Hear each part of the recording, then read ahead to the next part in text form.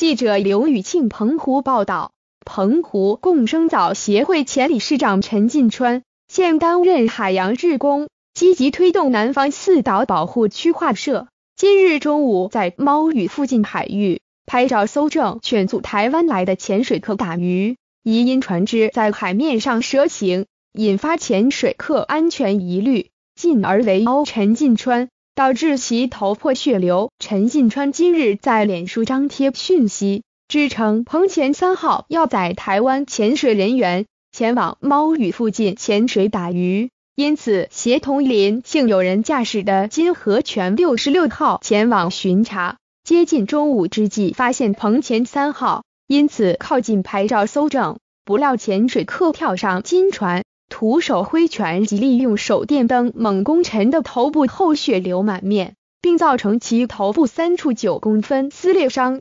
陈留有人在回马公旋即满身是血，出现在澎湖县政府前，欲状告县长陈光复。经远警及有人劝阻，才同意由救护车送医。救护车载送陈前往卫生福利部澎湖医院治疗，院方以缝合手术为陈进川治疗。并进一步做脑部断层检查，确认脑内有无出血状况。陈进川表示，他打动作护鱼以来，早已料到有这么一天。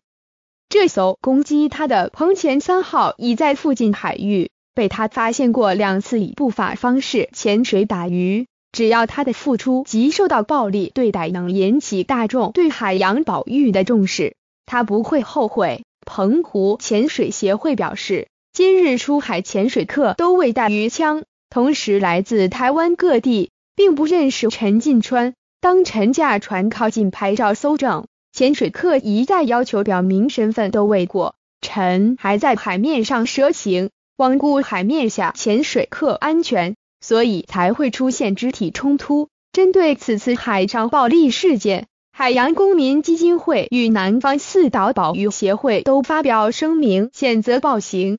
呼吁澎湖检警积极办案，揪出元凶。全案因发生在海上，由澎湖海巡队接手侦办。